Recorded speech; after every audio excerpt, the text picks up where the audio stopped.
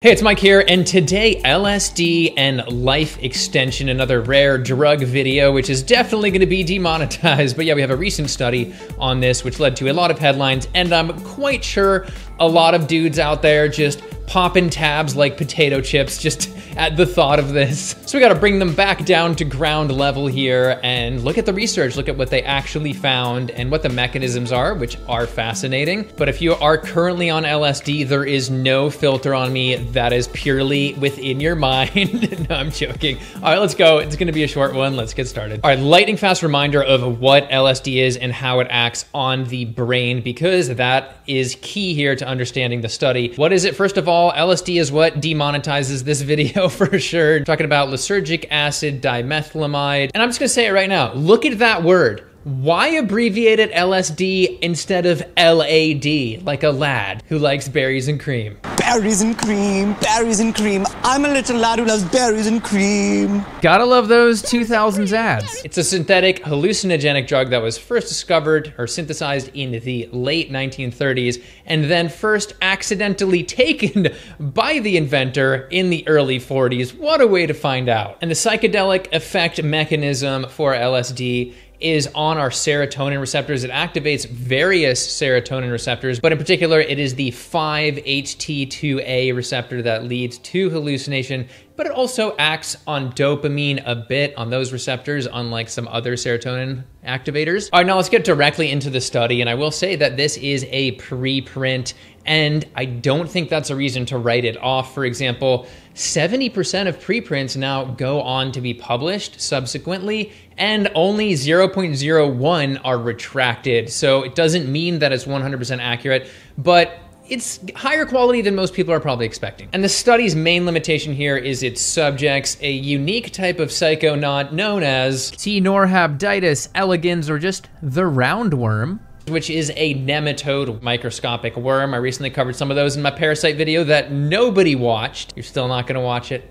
So yeah, this is unfortunately an animal study. I don't particularly like them for various ethical reasons. This one, at least, is not just chopping up a bunch of highly sentient animals. This is giving some hallucinogens to some worms or a control and then seeing which ones live longer. And to the results, we have a 25% increased lifespan in the LSD worms. Good band name, LSD worms. The only worm known to be exposed to LSD before this was RFK's brain worm.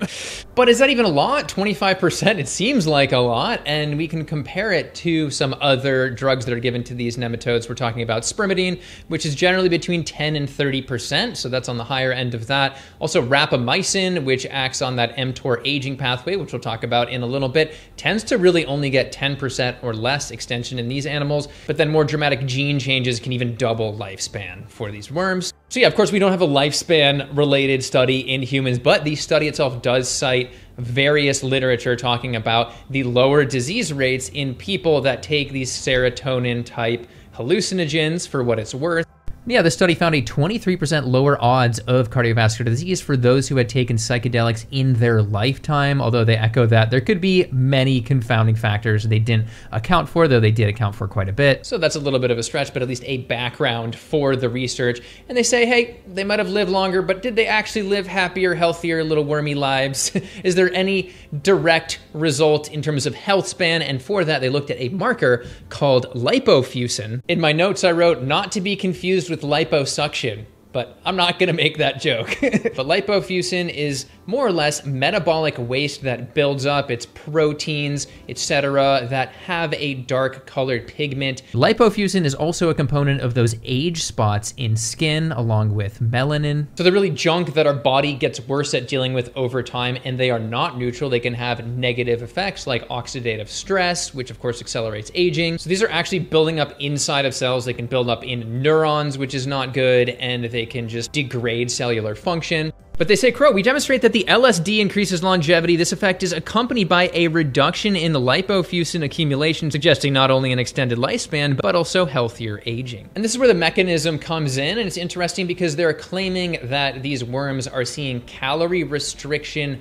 traits without actually restricting calories. And of course, we can see some longevity based calorie restriction benefit, and that comes back to the just evolutionary idea of these boom and bust periods And when we have a bunch of excess calories and we're eating a lot of food, we turn over our reproductive cycles faster, we grow our tissues faster, and that can lead to more mutations, cancer, and just faster aging. But then in times of scarcity, we eat less, we have the sort of preservation mode that can kick in, and that's why that can be connected to longevity. Calorie restriction can be associated with things like autophagy, where we start essentially recycling our own tissues. That could be one reason that there's less of this lipofuscin buildup because it's being cleared out. But that boom or bust phenomenon that we have is highly connected to the mTOR pathway, which is again highly connected to aging and even cancer. And they say, quote, in our study, the biphasic response observed suggests a temporal shift in TOR signaling. This aligns with the hypothesis that acute psychedelic induced mTOR activation transitions into an inhibitory state with prolonged exposure. So it downregulates mTOR, which would downregulate aging. And rapamycin is a drug that also downregulates mTOR, which we've previously seen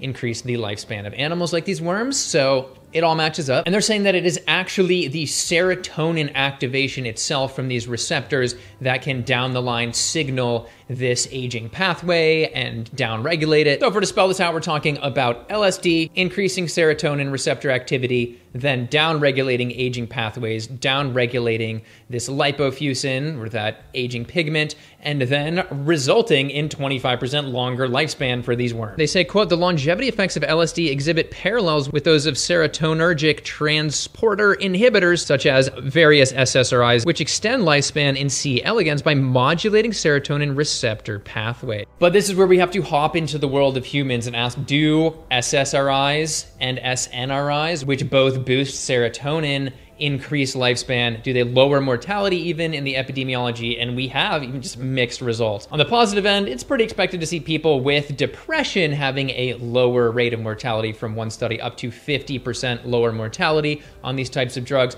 But then giving it to other populations, we get a mixed result. And we're talking about maybe about 30% of studies show a positive result. But the issue here is that people taking those types of drugs have a ton of confounders that can muddy the data and it's not on LSD. So obviously, we need a human LSD study, hopefully a microdose so people don't end up, you know, just trying to fly or walk through moving cars. And then on another note, I would say that there's a bit more robust data for psilocybin's active ingredient psilocin increasing lifespan in mice, which is a mammal closer to us. I still don't think it's necessary to do that. I think you can get enough people to sign up for some studies here. The mushroom mice survived so much better that when half of the control mice had passed away, only 20% of the mushroom mice did. And as you can see, they looked visibly younger in the mushroom group and this is likely due to how they did not have any shortening of those DNA protecting telomeres, which is crazy. But if I had to hypothesize about that, because mushrooms contain chitin, if you don't remove the chitin, there potentially could be a negative effect because could fuel Alzheimer's, just the way that it can build up in the brain. And that was the concern for eating crickets because not only do they have high cholesterol, but their